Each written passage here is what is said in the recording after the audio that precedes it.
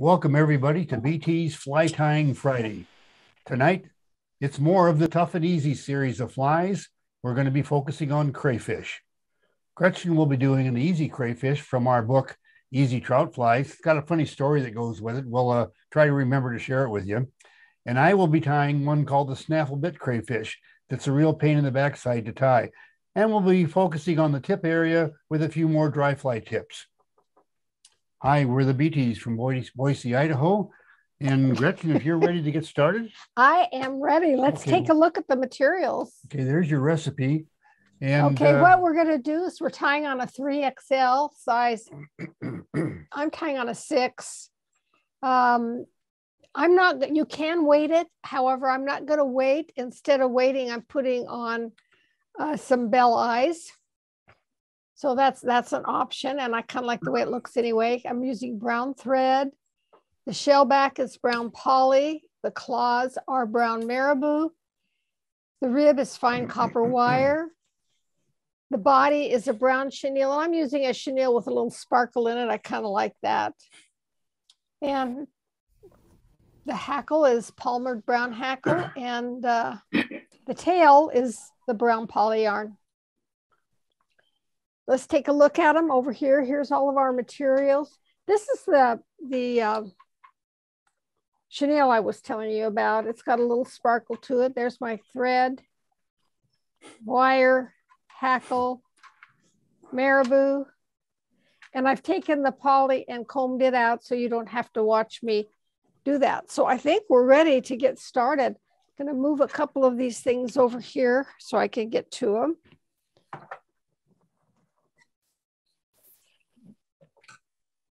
Okay, I can reach the rest of them as I need them. Okay, let's take a look at uh, do you at our uh, destination fly. This is a little lower. Pull it in right here. There we go. There you go. There's our crayfish. And that's what we're going to be doing. I think on this one, I was messing around with the marabou and I might have gotten it a little long. I don't know. Uh, what happens to when you put the the bead eyes on, it pushes everything a little bit back. And I think that's the reason it, it looks that way. But I think it would still catch fish. And this is probably not a competition fly. No, I a, would say it was a fishing fly. yeah, it sure is. And speaking of fishing, uh, as Gretchen gets on the thread base, she tied this for me back when I was guiding in Montana. And she just told me one day, she said, I got through packing my lunch and said, Hey, there's a surprise for you in your lunch. You better take a look at it. Well, as things turned out, I, I didn't get a chance to look at it until lunchtime that day when the clients and I had stopped on a little island in the Madison River, um, just, well, just out, outside of Bozeman. And anyway, we had lunch and I opened up my lunch and there was these crayfish in there. I said, oh, darn, they look good. We hadn't had a real good morning with the normal brown woolly boogers that we tie the tied to catch uh, the browns in that particular area. So we tied on one of these and my God, it wasn't 50 yards downstream. And the guy in the front of the boat, young kid from from Pennsylvania, he was into a big one and it just about spooled him. He was whooping and hollering. And all of a sudden, these two girls that had been sunbathing on the high bank right next to the boat stood up and they had forgot to put their swimsuits on. Or maybe they didn't have them on in the first place. I don't know which. But anyway, they were very stark naked and very good looking. And the young guy just dang near fell out of the boat. I had to grab his belt to keep it from falling out of the boat. And on down the river we went, lost the fish got on, got further down river, and of course the young fellow couldn't quit talking about that. He thought it was pretty great. Bottom line is, I've never been able to repeat that day on the river. In fact, in fact, that young fellow, and his father came back five different years in a row with the hopes of uh, repeating the process, it didn't happen. You know, I so, thought he came back because you were a good guy. Well, maybe that too. But anyway, you can get started there. I okay. Through the, the really thing about this fly is you have to stop and think as you're putting the materials on before you even start wrapping to be sure because it's a lot of material so i kind of played around with it today thinking about, in fact, I woke up this morning thinking about the order of, of how I wanted to do it, what I've done in the past. I haven't tied this fly in a long time till today. So the first thing I'm going to do is put this copper wire on. And I'm going to hold it up here because I want it on the, the uh, backs on the bottom back side.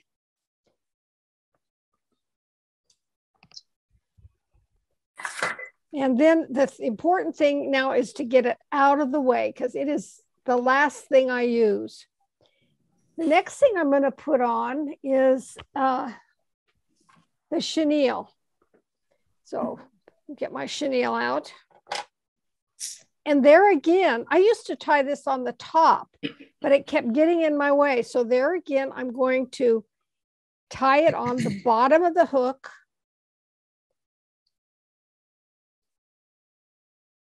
If I hold this up and kind of to the back side, then the thread torque will just pull it around and put it on the bottom. I want to go just above the uh, throat of the barb. And this too, we need to get out of our way. now I'm going to tie on a feather. Let's use this one. This looks pretty good. And this one I'm going to tie to the bottom, but on this side. It's getting a little crowded on the other side. Mm. Okay.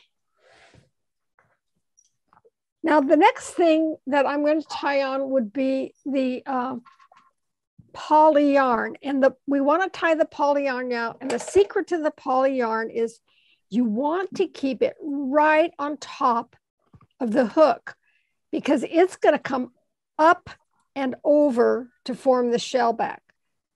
So, and the other thing that I like to do with this is I'm going to put this towards the front because I kind of, I'm going to start kind of shaping a body a little bit.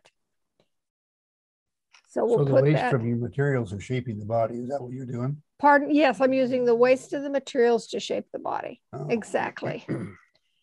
okay. And now at last, we're going to put on the marabou. And I prepared some marabou ahead, so it's all ready to go. Whoop. I prepared it, then tried to destroy it when I put it in my hand. So I want this to be one length, the length of the shank and maybe a gap long. So I want it right there. And I want to tie it not as far forward whoops, let's, let's do this. Not as far forward as I did the poly. So we'll put it on about here. So let's measure that again. We'll place it. And now we'll do a finger thumb tuck and wrap it to the back. Don't let go of this stuff And I'm going to hold on to the poly also. And the reason I'm holding on to the poly, as you can see, is if I don't, it has a tendency to let the thread, thread torque pull it to the other side. So, whoops. I'm going to keep it forward like this so that it doesn't sneak around on me. All right. No, I guess that's enough, isn't it? Okay. It's just fine. Now, what you want to do when you clear off the tear or cut off the waste is you want to do a real beveled cut. So I've got it kind of going down lower towards the front to start making a platform more and to form the body. This is the back end of the crayfish. These are the claws. So you think about the body, we want the body to go smaller, larger, larger, larger like that. Okay. Now I'm going, I've got, this is, uh, these eyes are bead chain that we found one time. And we still have a few of them left, not a lot, but I thought I would get those out today because I kind of like the way they look. And we'll tie the bead chain on.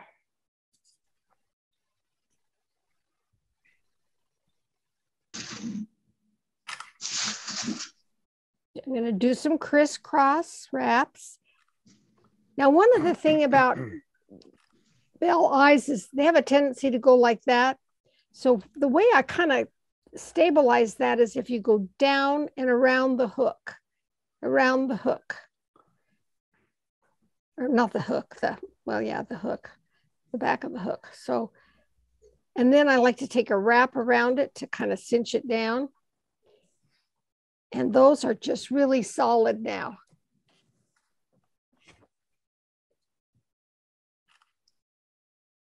Okay, now I get to start tying the fly actually. The first thing I'm going to do is to wrap the uh, chenille. So let's get my thread up here where I need it. And I don't go through the eyes with my chenille. And the reason is, is because I'm going to be doing the poly through there and that is plenty. You want to put these wraps real close together. If you don't, with chenille, if I wrap this not real close like this, you can see the thread and it, it this kind of um, got holes and valleys and it's not real smooth. So when I wrap chenille, I force it with my thumb so it's real tight. And get a nice fuzzy body here.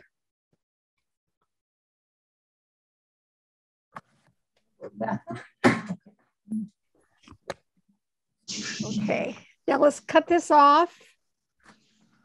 And then I'm gonna unravel it a bit here. So I can get to the thread and push it, push it back into itself. Now you can see we kind of got this body shaped a little bit. All right, the next thing we want to do is to wrap Palmer our feather, just like we always do. I'm gonna push it back a little. However, it's not critical in this fly because we're not gonna have a big hit anyway. But uh, I, I like to do that because you get that back over itself and it uh, makes a pretty strong tie-in point. I dampened that just a little bit. It's a little easier to control it if you do. You used a glass of water, didn't you? I did. Yeah, I'll bet. Wow, what else would a lady do? I have no idea. Okay. Now, when I do this, you're going to notice that these, I guess, are just going out to the side, and that's not the way I want it. And I'll show you how we're going to correct that. But we'll take a couple of wraps over this guy. And what I'm going to do is take my copper wire and I'm going to take a wrap in front of, let's see if this is going to work, work today earlier. There we go.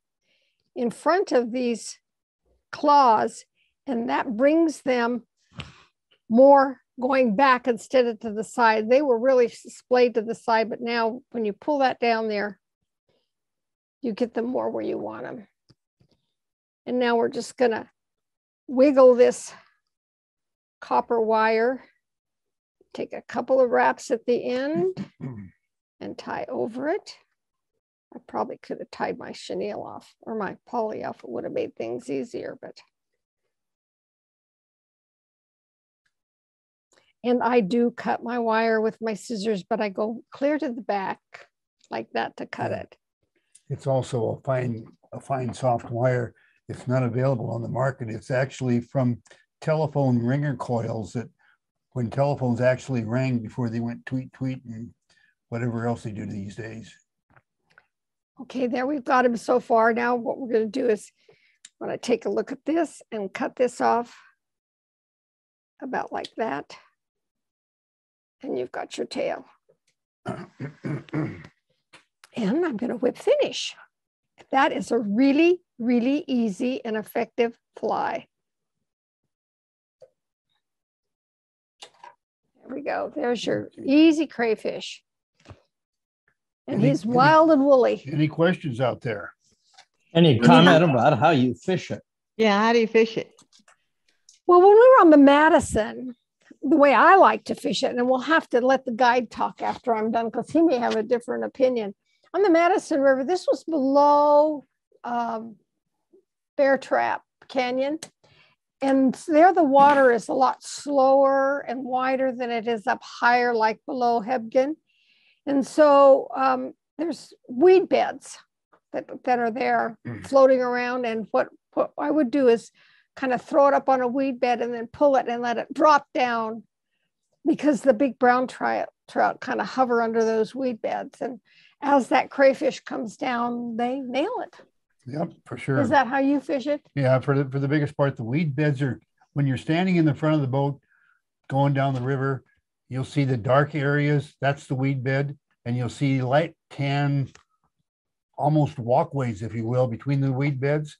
You just like she said, cast it up on the edge of the weed bed, give it a jerk, and drop it into the tan area between the weed beds, and give it a couple of jerks, or just let it let it float for a bit. And if there's a fish in the area, they're into it. You can see I've got some materials there, and they're just a snarled mess. God, it just makes me shudder to even start this slide. But anyway, But it's a really good slide. the problem is it catches fish like crazy, but it is an absolute pain to tie. And in fact, what we're going to do is we're going to start with the recipe. And I'm going to keep going back and forth to this recipe because everything is arranged here.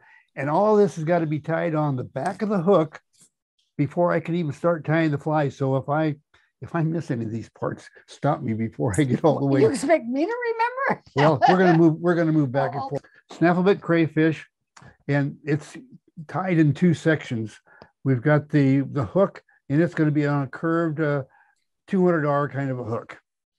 Um, Thread, whatever you want, I'm using brown. The antenna is crystal flash. The mouth, mouth parts are deer hair. Um, the claws are chickaboo. Shellback is brown poly. However, the original was not tied with poly, but we've modified the fly to use that material. Copper wire, and by the way, the copper wire we use is not the kind of stuff you buy in the store. It's from old telephone ringer coils, uh, which, which is a lot finer and a lot softer, but it makes a really good fly tying material. The body is brown chenille, and the legs are, are brown hackle. This is going to be schlappen, and before we get into the fly itself, we're going to go to feather school. And let's take a look at a chicken. And on, on the, the chicken here, we're going to talk about where you get certain feathers. We're not going to get real technical, but let me do a screen share here. All right, let me get my pencil out and we'll do a little bit of drawing. Okay, we all know that the cape is right here. And if you didn't know, that's where the cape comes from, the neck feathers, if you will. And the saddle is right in this area. And in fact, if it's a good whiting saddle, it'll be clear down like that. And we're going to talk about this area right here in just a moment. But let's get rid of some of these marks. Control. All right. Another area that we're going to talk about, you may not be very familiar with, but it's this area here. And it's the chest breast feathers and the feathers down in the crotch. And in the crotch area, they're called chickaboo. It's very similar to a miniature version of marabou. Okay, let's just, just so you know, because we're going to be using some chickaboo here in just a few minutes.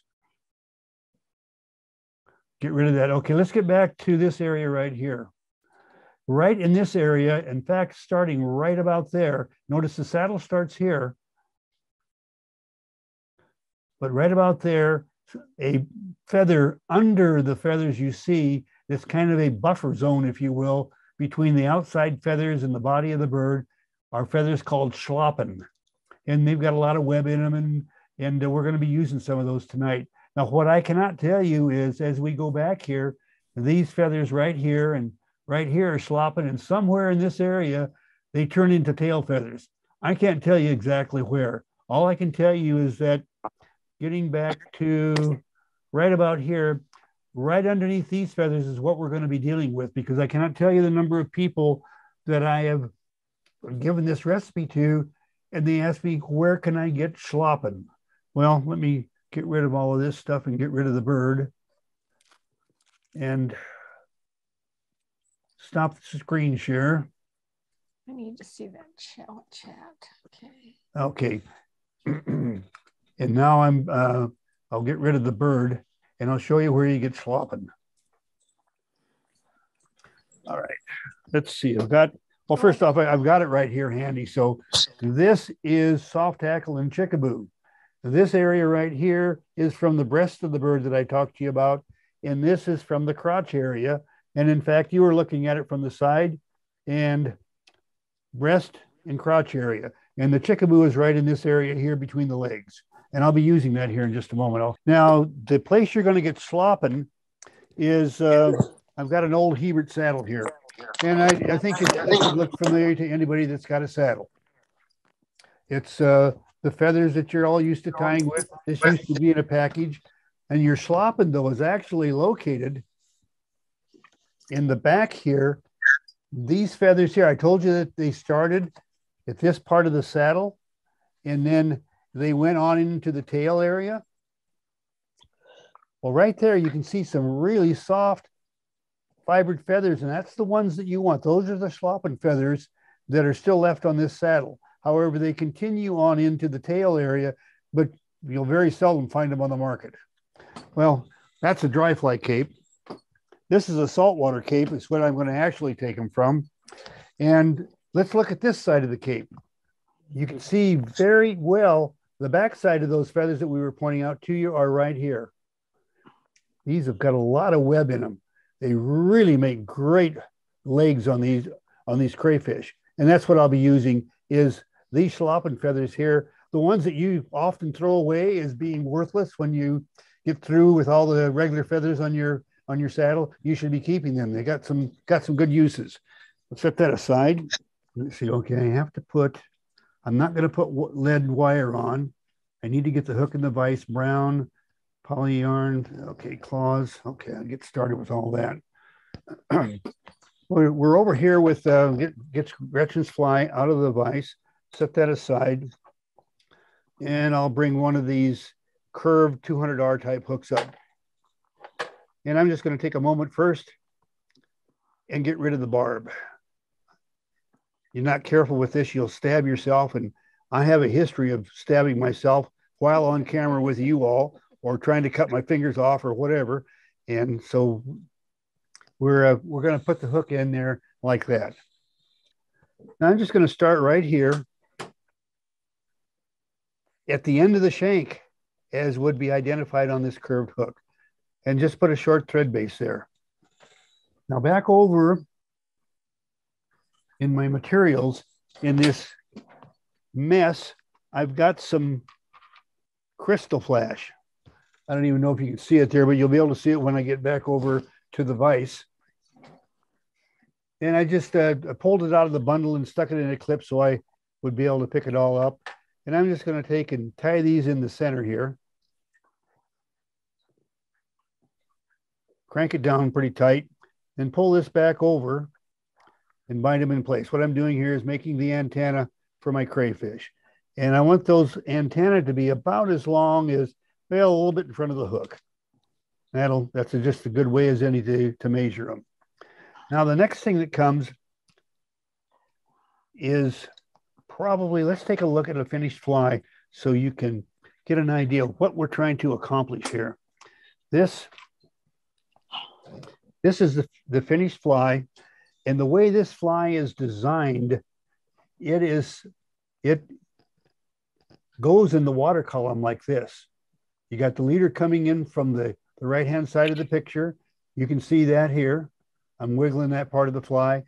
But the rest of the fly is made buoyant so that as it drops in the water column, it drops like this. It started life on this earth originally called the fighting crayfish. And if you've ever seen crayfish uh, in a threatened mood, mode, if you will, this is the way this guy travels in the in the water. And he's designed in this front part that I'm wiggling right now with flotation, and all of the sink in this thing is at the back. So it, it, it, will drop in the water column in the fighting stance, like a crayfish actually does. And when it hits the bottom, it will float. This will be on the bottom, the straight part, and the rest of the bug will kind of tip up off of the bottom. And when, of course, you can imagine as you jump it along, it can be very enticing to a fish. But anyway, I'll just set that guy aside for the moment. You can get an idea what, what the goal is because you'll understand why I am going to be using um, some deer hair. And this is deer hair that's been dyed. So it, the color thing that we talked about in the past is going to be difficult to demonstrate. Just trust me, this hair is spinning hair. It's already been dyed brown. I'm just going to take a chunk of it, cut it off. And on my way back to the vise, I'm going to get over my waste bin and clean the underfur out. Here, stack her out. And I'll just even all those tips. Now we have, what I'm doing right here is I'm putting in what we call the mouth parts. And, uh, but it's this buoyant deer hair. Well, we've even tied it with, with foam and, and a lot of them we tie do have foam, but I'm trying to stay, stay with the original recipe, but foam in this area can work really well so that that will definitely float. Now I'm going to cut this off just like that but I'll go over my waste bin to get it done so I don't make a mess. All right, and now we're back here and we'll tie that in place. And then I'm just gonna wiggle it around the hook and flare it in place. And that's the mouth parts. I'll just tie this, tie this on because I Right, there we go. I'm just going to take two turns of this chenille and then pull it into my material clip. Now the brown poly goes on the underside of the hook because the underside is actually going to be the top of the fly. And like Gretchen did, I'm going to use the bulk from the waste of this of the next few materials to kind of build up a taper to my body.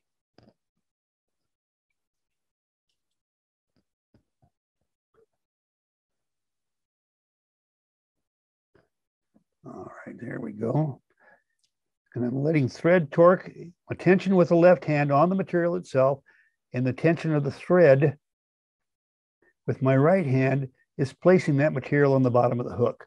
And I'm, I've got an, another material clip over here and I'll just temporarily put that in that material clip. Okay, good. Now it's time to put my wire on.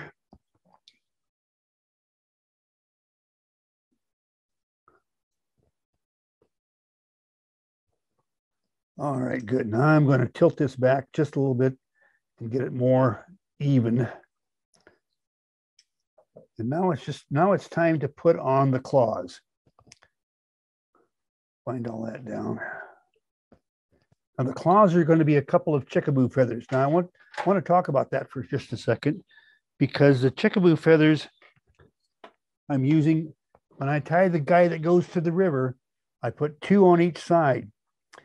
That fuzzes up so darn much that you can't see anything after I put them on the hook on a camera. So I'm putting on just singles, one on each side. And, but understand when you tie your own, put on two feathers per side. I've got these feathers already pulled out. I'll just set, take one out. And you can see now what the chickaboo feather looks like. It's um, very similar to marabou, but it you notice it's a lot, lot has a lot blunter end here. Those would work good on that easy too. I would sure, sure would we didn't have access to these back when Gretchen developed the easy crayfish. But anyway, we'll put that guy on. Just let some of the waste start building up the underbody. I like the color of that too. Yeah, I do too. It's um now the original one had dyed brown, but we're gonna All right, now I'll put on the other one. I want it to be about the same length, so I'll set it just like that. So you really do need two feathers on each side, you think? Yeah, you sure do, because the way they show right now, oh no, you don't need two feathers. But when it gets wet, you do.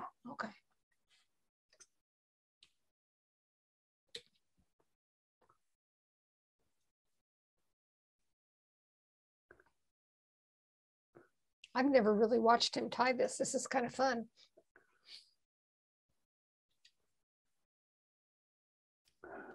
Okay, now I've got I've got to go back and check the recipe. brown crystal, deer hair, chickabou, brown poly, copper wire, brown chenille, brown hackle. I still got to put on the hackle. Now I can pull that stem back and I want to see how it kicks the, the feather back here towards the back. That's where I want it because that's where my first wrap is going to be.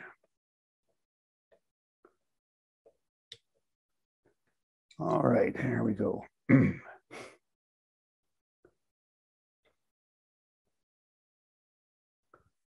Now you put one wrap behind the feather Yep, and the rest of them in front of it. yep. Okay.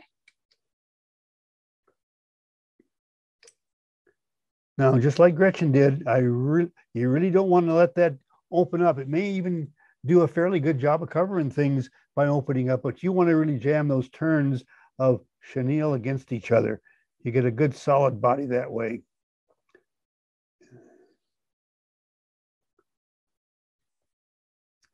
And I want you to notice as I get back here towards the hook eye, I stop way short. I do not want to crowd that eye in any way at all because it's going to affect the joint, if you will, or the snaffle bit part of the of the fly, and it won't bend in the water like we want. Now, I've got a little bit left. That'll probably be enough to finish the fly. If not, I got some more laying over there. okay, now it's time to wrap our hackle, legs, whatever you want to call it.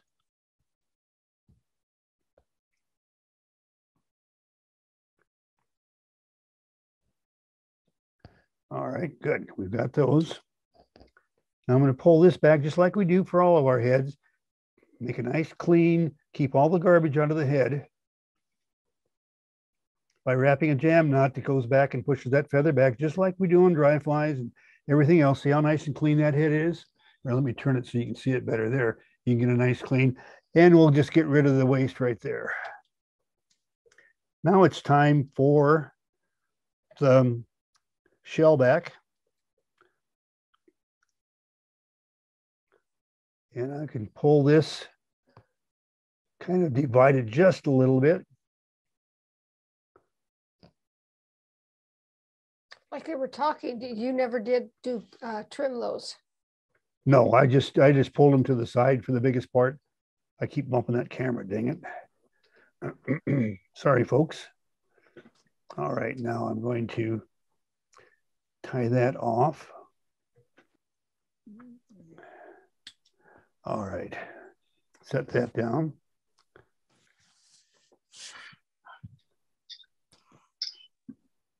See how the materials can start creeping forward. It'd be real easy to jam that eye up, and you don't want to do that.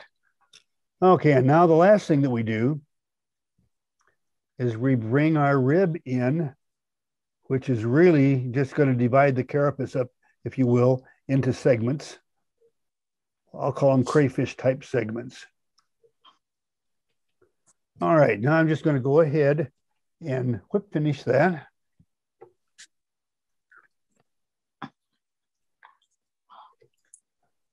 Set all that down for the moment.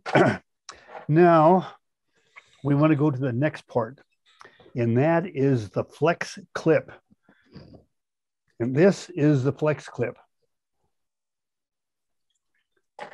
Now LaFontaine, when he when he uh, introduced me to the flex clip, he uh, he found this in a bass fishing store, and I can't remember what he said it was used for, but anyway, I, I found a bunch of them and I bought ten thousand, thinking that I was going to make a killing on the darn things, and it, it didn't prove to, to to work out that way.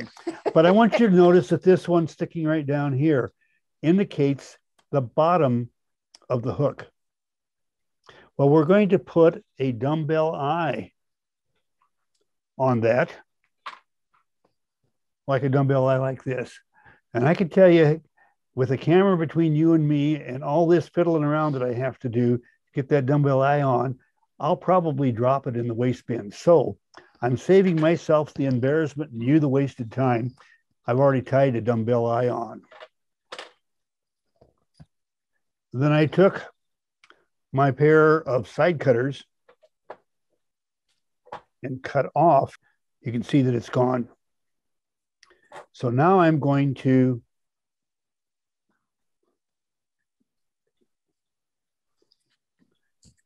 now we're ready to move into the second part of the fly. Right now I need to turn off this part of the recipe and turn on the next part, which is the articulated clip. And we'll be keep moving back and forth between it and the and the fly. But first I need to move the fly out of Can I ask a question? you got it, sweetheart. Is there a reason why you didn't clip off that thing that was hanging down before you tied? Well, I found that it's pretty handy to tie um, against that. Oh, okay.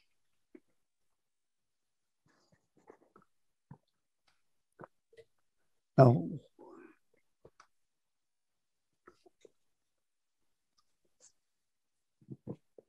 all right, now it's tilting down here hill a little bit, but I want you to notice back here to protect myself, I've rigged up a rubber band and one of these hackle pliers, and it's maybe going to save me from doing a human sacrifice right here on live uh, on the internet. And we're going to start uh, by So in other words, uh, you're covering the hook. I'm covering the point of the hook with those. You don't need to do that, but if you're adventuresome, I would say you don't need to do that. And if uh, you're not adventuresome, then I don't know. Anyway, first thing we're going to tie on now is the brown poly.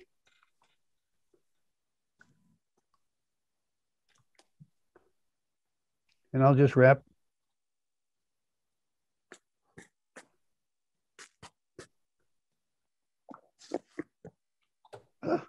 got myself anyway. Let's see, it's uh oh, I'm all right. I'm not going to be bleeding to death, so this is good. Yeah, the hook, the point is sticking out a little bit. Yeah, it keeps slipping. I I probably needed uh, a more rubber band. Okay, I'm going to set this back out of my way, and now I'm just going to put on the copper wire. Al, Yes, little piece of foam stuck over the hook will do it. good idea. Thank you. That was Paul in Australia, wasn't it? Or whatever. Having bled a bit, Oh, okay.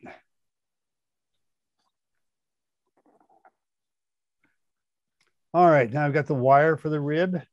And the last thing we're going to put in is uh, chenille. I got just a short piece left here and it ought to be able to do, it ought to do the job.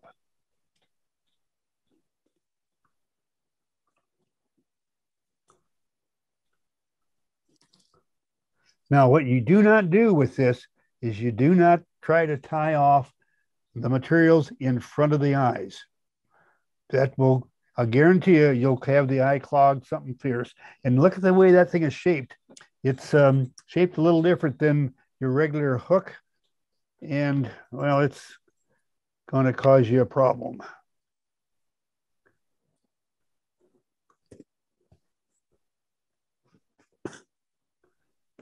And I should have not tried to use that short one like that. So I am going to show you a little trick of finishing a fly that I ran out of materials and I just need to add some more to it. Ah. I'm going to see how I strip that off. And now I'll just go right ahead and tie it in right where I cut off the other one. Leave my thread hanging there and continue wrapping. I had one more turn behind, crisscross between the eyes, and bring the chenille back and tie it off behind the eyes. Now we're going to bring the poly forward, the, the shell back, the carapace, whatever you want to call it. That'll be the, um, not, not the tail of the fly, it'll be the tail of the imitation. Let's wrap our rib or segmentations to the last part of the, of the shell back.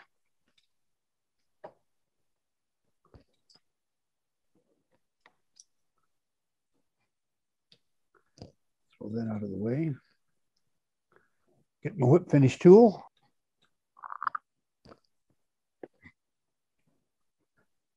All right, finish, finish off the thread, hang out. And let me get a, a clip now to grab this. So you can see the actual fly and the the snaffle bit portion.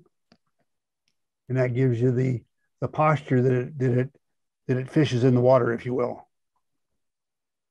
Um, here is a sample of what you can expect, at least in our part of the world. My goodness, that's a big fish. He's he's a he's one of the nicer ones in this particular unnamed body of water, but you can tell by the by the fish by the hook that's hanging in that fish's jaw what caught him. Yeah, it's you can see the the uh, snaffle part there. Yeah, yeah, you can see the snaffle bit. But anyway, uh, that one has been been broke terrain, I guess you could say.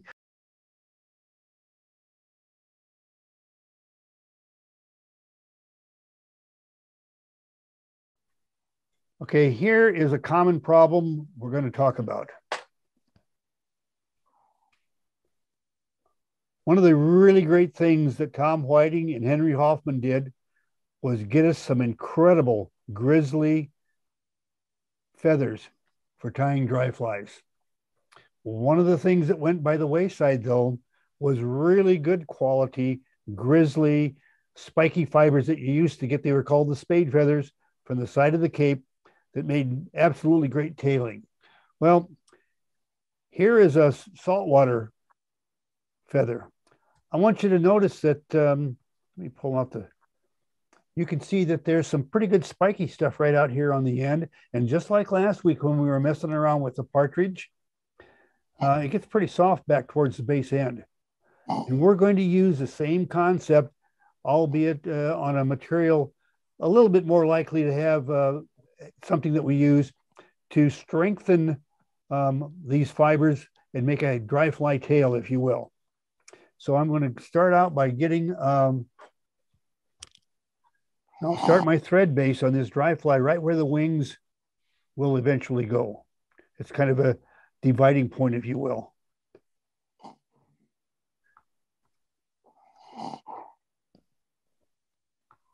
And I'll wrap to the end of the shank and back part way. And I'm just going to pull some of these fibers off of that feather. And the only part that's really good, and I can tell you that's the part right there, that's the good fibers. And you can see it's not long enough to even make a tail equal to the length of the hook shank, let alone what you would normally do with a hackle fiber tail. So what I'm going to do is I want a tail that's about as long as the complete hook plus the bend and everything. And we'll just tie that on.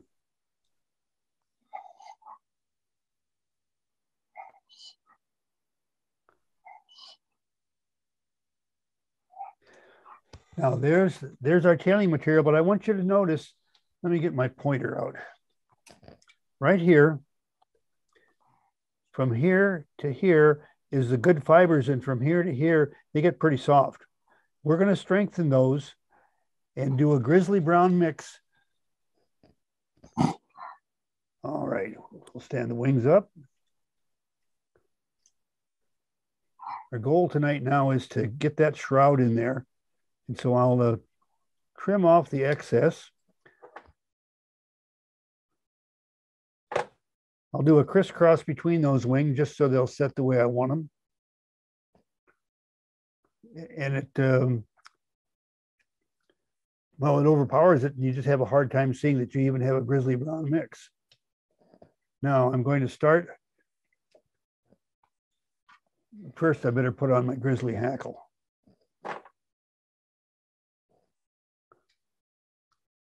Now the grizzly will end up starting right about there. And we'll get to that after a bit.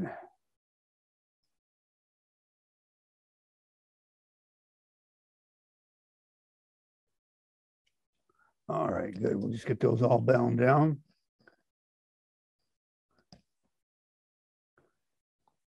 All right, now we're just going to start wrapping our brown back to meet the thread.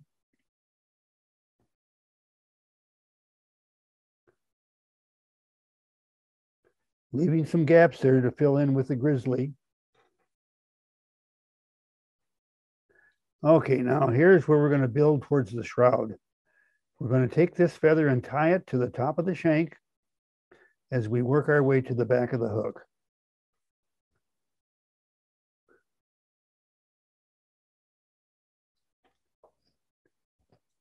Now I can, you can see when I bend it back that the ones that are going to support the tail itself, I need just a little bit longer ones. So I work my way a little bit further back on the hook shank. And that's going to give me a little bit better support there, just a little bit further. Now I'm going to break those fibers, break that feather off, excuse me. And you see the fibers left behind? Those are going to right in, in the area where they're going to support the grizzly part of the tail. So we get a, a grizzly and a brown mix, though it's a shrouded mix, meaning that it's only part of the tail that's supported. Now I'll get my dubbing on the thread here. And I need just a little bit more dubbing. I'll just pull this on and twist it, pull a little patch of it and twist it in place.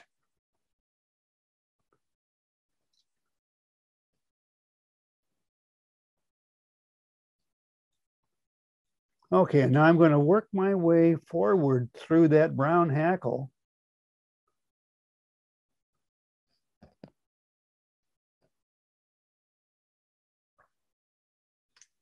And then wrap the grizzly to follow.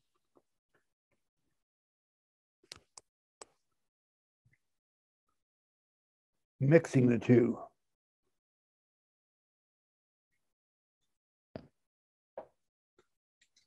Second turn. And remember to build our, build our head now two turns anchoring the feather there. Pull this back, wrap a nice thread head.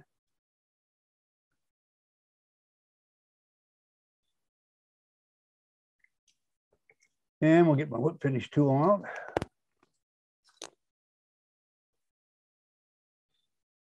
And do a whip finish. Notice as I come by those fibers, it's trying to grab them. So I just, if you pause just a little bit as the thread comes by those fibers, it'll often push them out of the way. Pull the whip finish tight, break the thread, break the feather. And uh, there's um, our Adams Wonder Wing and we've tied the hackle a little bit different and uh, we used a shrouded tail. Is that the way we always do it? Nope. All I'm doing is offering you options to add to your own tying bag of tricks.